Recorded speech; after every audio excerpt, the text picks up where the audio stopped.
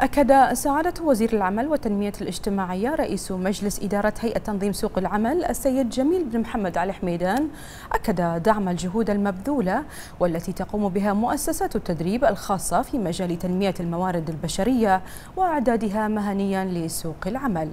وخلال لقائه رئيس مجلس إدارة شركة ميد بوينت لتنظيم الفعاليات ومعهد دناين الشيخة نورة بنت خليفة الخليفة نوه سعادة وزير العمل بأن دعم جهود جهود مؤسسات التدريب الخاصة يعد مسؤولية مشتركة بين مختلف الجهات الحكومية والخاصة لإدماج الكفاءات الوطنية